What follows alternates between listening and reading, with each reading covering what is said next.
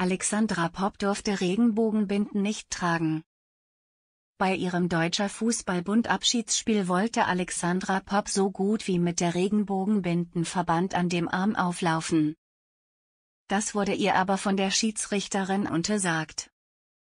Auf Anleitung der Schiedsrichterin hin hat Alexandra Popp in ihrem letzten Länderspiel jene Kapitäninnenbindenverband knapp vor Spielbeginn ersetzen müssen.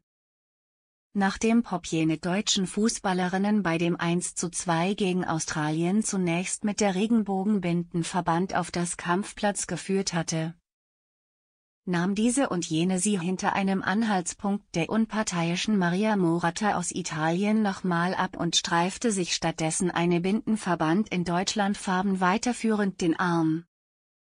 Marotta berief sich hinter deutsche Presseagentur Informationen auf Regeln des Weltverbands FIFA, worauf jene Kapitäninnenbindenverband entweder eine dominante Farbe haben oder in den Landesfarben getragen werden müsse. Zwar kann zwischen Freundschaftsspielen der Ausrichter der Abteilung entscheiden, welche Kapitäninnen abziehen zu unterstützen sind. Marotta handelte gereinigt regeltechnisch richtig. Allerdings hatte der Deutsche Fußballbund dasjenige Australien-Glücksspiel zwischen der FIFA angemeldet, hierdurch das sogar für jene Weltrangliste gewertet wird. Entsprechend werden solche Freundschaftsspiele sogar hinter den geltenden FIFA-Regeln ausgetragen teilte der Deutsche Fußballbund mit. Bei Freundschaftsspielen ist es nicht üblich, sich jene Kapitänsbinde aktivieren zu lassen. Beim 4 zu 3 in England durfte Julia Gwynn jene Regenbogenbindenverband unterstützen.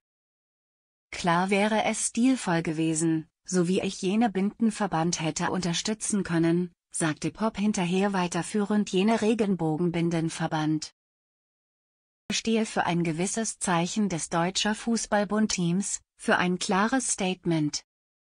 Auch ihr war es ein Rätsel, warum wir diese und jene gewechselt haben. Sie sei aber sogar mit Lust und Liebe mit der Deutschlandbindenverband aufgrund dessen den Arm in ihr 145 Länderspiel gegangen.